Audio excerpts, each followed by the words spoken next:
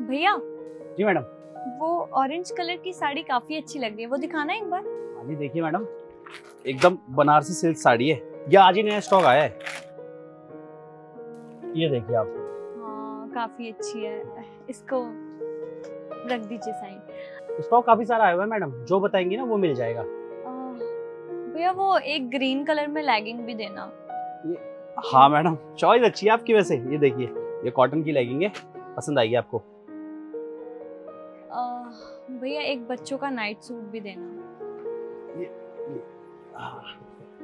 हाँ ये ये लीजिए मैडम ये बढ़िया रहेगा। एक वो भी देना। ये एकदम इम्पोर्टेंट पीस है ये वाला ये अच्छा रहेगा। ये हम्म, बच्चों के लिए। हाँ रेट आपको बढ़िया लग जाएगी मैडम आप टेंशन मत लीजिए। सामान पैक कर दूँ ना फिर आपका मैं। ठीक है भैया इनको पैक कर दीजिए बता दीजिए कितने हो गए। ठीक है ये टोटल कर दूँ मैं एक मिनट आपका। तीन ये एक दो तीन। ये हो गए मैडम आपके मैडम डिस्काउंट लगा के पाँच हज़ार हो गए आपके। पाँच हज़ार? जी। ओके।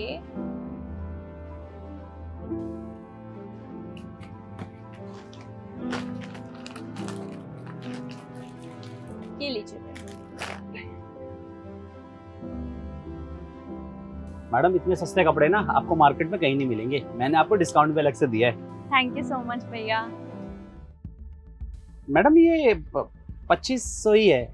मैंने पाँच हज़ार बताए। हाँ तो भैया इतने काफ़ी है। हो जाएगा। नहीं मैडम हिसाब पाँच हज़ार का बनाया। आपने पच्चीस सौ रुपये दिए। अरे भैया कैसी बात कर रहे हो? इन 2500 में भी ना आपको काफ़ी अच्छी बचत हो रही होगी। हो जाएगा कर दीजिए पैक। अरे नहीं मैडम इतना तो बचता भी नहीं है। आपको ऑलरेडी मैंने डिस्काउंट दे दिया है। अब इससे ज़्यादा नहीं हो पाएगा मैडम। आप पैसे तो आपको पूरे देने पड़ेंगे। भैया ऐसे कैसे? देखो मैं तो लेकर ही मानूँगी। आप पैक कीजिए इनको। मैडम इतने में मैं दे ही नहीं सकता हूँ आपको। आप या तो किसी और दुकान पे पता कर लीजिए अगर आपको मिलता है ना तो आप ले लीजिएगा पर इतने कम में नहीं मिल पाएगा। अरे भैया हो जाएगा। वैसे भी आपको इसमें भी कितनी बचत हो रही होगी? आप कितना सस्ता सामान लाते होंगे? फिर उसके बाद आप कितना सारा रेवेन्यू कमाओगे? किसी को तो छोड़ दो हो जाएगा कर दो पैक। अरे मैडम मैं कैसे कर दूँ? आपका बिल ही पाँच हज़ार का बना है और आप मुझे पच्चीस सौ रुपये दे रही हैं। ऐसे आधे रेट पे कैसे मैं सामान दे सकता हूँ? अरे नहीं नहीं भैया कैसी बात कर रहे हो? जब मुझे लेना ही यहीं से ही है।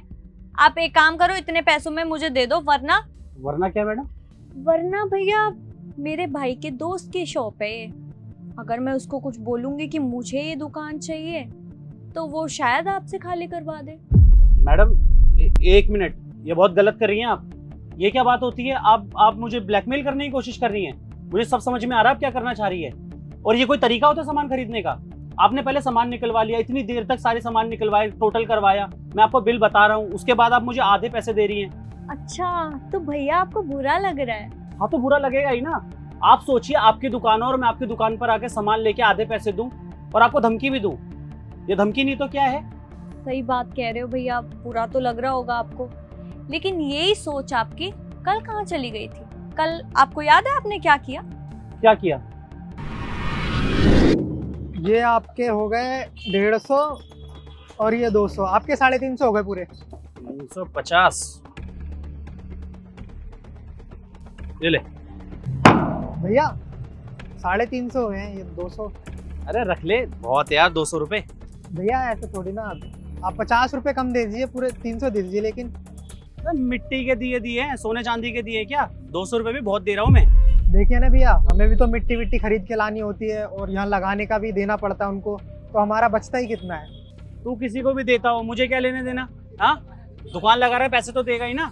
और वैसे भी ना सोसाइटी में ही रहता हूँ मैं। इस सोसाइटी के बाहर दुकान लगा रहा है। दोबारा बहस मत करियो। रख ले चुपचाप दो सौ रुपये वरना ये भी छीन लूँगा। अरे सुन तो लो भैया इतने में थोड़ी होगा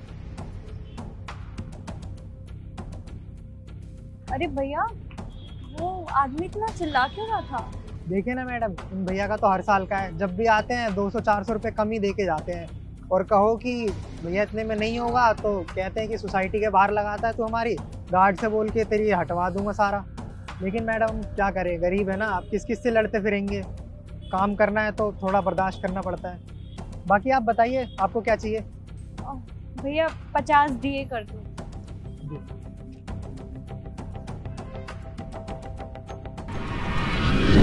भैया, किसी दूसरे के सामान का मोल भाव करना बहुत इजी है। कैसे आपने उस गरीब दिए वाले से साढ़े तीन सौ का सामान दो सौ में ले लिया? आज जब मैं आप ही के सामान का मोल भाव कर रही हूँ तो आपको बुरा लग रहा है। किसी गरीब को धमका कर उसका सामान लेना, उसे बेइज्जत करना। भैया, ये सिर्फ़ आपकी बात नहीं है। ये आप जैसे काफ़ी लोगों की बात है, जो सिर्फ़ गरीब इंसान पे ही अपना दबदबा दिखाते हैं। जब उनके ऊपर बीतती है, तब उनको पता चलता है। जो चीज़ आप सहन नहीं कर सकते ना, वो दूसरों के साथ भी मत कीजिए। यही समझाने आई थी मैं आपको। कुछ सामान नहीं लेने आई थी। लाइए, पैसे दीजिए।